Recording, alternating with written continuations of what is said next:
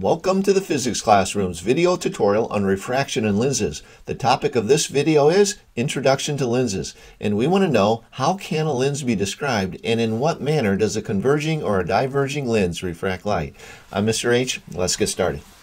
You can think of a lens as being a collection of tiny refracting prisms that act together to refract and focus light so as to produce discernible images of objects viewed through the lens. Here we see on the left a collection of refracting prisms that are put together in such a manner as to form a, the shape of a converging lens. When parallel incident rays from a distant source approach this collection of prisms, we would observe the light refracting as they enter the prism and refracting again as it exits the prism. And the net effect of the refraction upon entry and upon exit is to converge the light or to focus it to a point. Converging lenses are referred to as converging lenses because they converge parallel incident rays to a point. Here on the right, we have a collection of prisms organized in such a way that they form the shape of a diverging lens. As parallel rays of light from a distant source approach this collection of prisms, each light ray will encounter a surface which is angled differently than it was for the converging lens. The result is that as light refracts upon entry and refracts again upon exiting this collection of prisms, the light rays are observed to be spreading apart or diverging away from one another. But if we took each refracted ray and traced a dashed extension line backwards in space, we would observe that each dashed extension line focuses at a point. These are called diverging lenses because they cause parallel light rays to appear to diverge from a point in space. Lenses can be categorized as being either converging lenses or diverging lenses. Converging lenses share the unique trait of being thickest in their middle and thinnest at their edges, whereas a diverging lens, like these two here, have the opposite trait of being thinnest in the middle and thickest at the edges. In this tutorial series on lenses, we will be discussing double convex lenses like this one here. A double convex lens is perfectly symmetrical and is a converging lens. We will also be discussing double concave concave lenses like this one here, which is also symmetrical, but is a diverging lens. An understanding of the basic structure of a lens and the vocabulary terms that go along with that structure will be essential to your understanding of future topics discussed in this video tutorial series. Here we have a diagram of a converging lens, and the vertical line that goes through the center of that lens is known as the vertical axis or the vertical plane. The horizontal line that you see here is perpendicular to that vertical axis. It goes through the exact middle of the lens and is referred to as the principal axis and sometimes abbreviated as PA. Along the principal axis are two points that we refer to as the focal points and abbreviate them by a capital F. The focal point are the locations where parallel incident rays will intersect upon emerging from the lens. There are two more points that we refer to as the 2F points. Not surprisingly, the distance from the focal point to the vertical axis of the lens is known as the focal length. It's also not surprising that the two F points along the principal axis are a distance of two focal lengths from the vertical axis of the lens. Let's consider a converging glass lens and incident rays traveling parallel to the principal axis approaching that lens. Upon reaching the lens, the normal line can be drawn perpendicular to the surface as shown. Because the light is traveling from the less dense air to the more dense glass, it will bend towards the normal line and refract through the lens reaching the opposite surface as shown. At the opposite surface, the normal line can again be sketched perpendicular to the surface of the lens. At this location, the light is traveling from the more dense glass to the less dense air and will refract away from the normal line. The result is that the two refracted rays will emerge from the lens and come together at a point known as the focal point. Now let's consider a, the same converging glass lens, but incident rays that are traveling through a focal point on the way to the lens. The normal line can be sketched at the point where these rays reach the lens surface, and we would expect that the light would once more refract towards that normal line. That would pass through the lens as shown and reach the opposite surface where again the normal line can be sketched perpendicular to the surface. But here the light will refract away from that normal line and will end up emerging from the lens traveling parallel to the principal axis.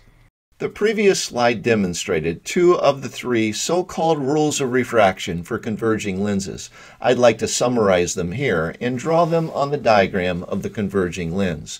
The first rule is that a ray of light that is traveling parallel to the principal axis will refract and pass through the focal point on the opposite side of the lens. This is shown by the red incident and refracted ray that you see here. The second rule is that a ray of light that travels through the focal point on the way to the lens will refract and travel parallel to the principal axis. This is shown by the blue incident and refracted ray on the diagram above. The third rule was not shown on the previous slide, but it goes something like this. A ray of light that is heading towards the exact center of the lens will refract as it enters and refract as it exits, but the net effect of all the refracting is that the ray of light will continue along its original path. This is shown by the green incident and refracted ray on the diagram above.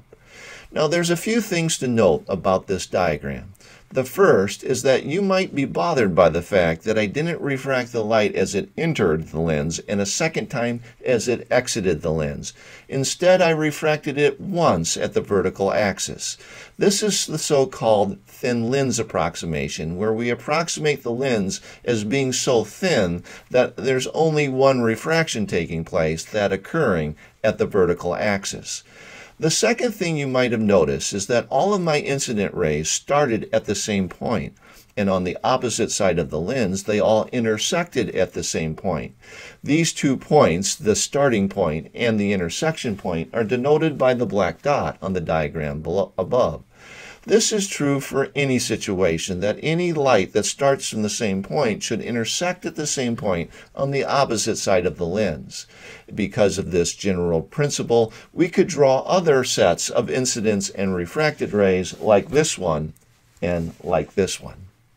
Now let's take a similar approach of investigating the refraction of light by a diverging glass lens. We'll begin with light traveling towards the lens parallel to the principal axis, encountering a normal line that looks something like this and refracting towards that normal line, passing through the lens and reaching the opposite side where the normal line can be constructed and we would expect the light to refract away from the normal line. It would emerge from the glass traveling away from one another in a diverging fashion. However, we can take each of these diverging refracted rays and extend them backwards in space behind the lens, and we would notice that they intersect at a focal point.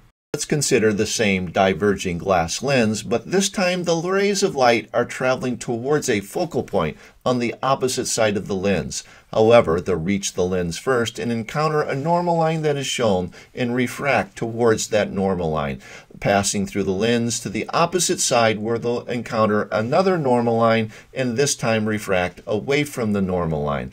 The net effect of all the refraction is that the light rays will emerge from this diverging glass lens traveling parallel to the principal axis. The previous slide illustrated two of the three so-called rules of refraction for diverging lenses. The first rule is that a ray of light traveling parallel to the principal axis will refract through the lens and travel away from the principal axis, but in line with the focal point, as demonstrated by the red incident and refracted ray.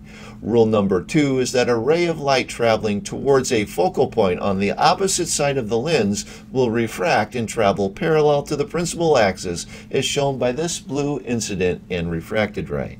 The third rule is that a ray of light that is heading towards the exact center of the lens will refract as it enters and refracts as it leaves, but the net effect of all the refraction is that it continues along the same straight line path as demonstrated by this green incident and refracted ray.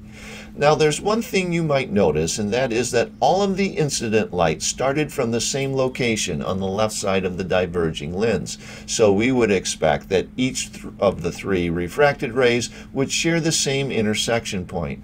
However, the three refracted rays that emerge from the lens are diverging and not coming together or intersecting.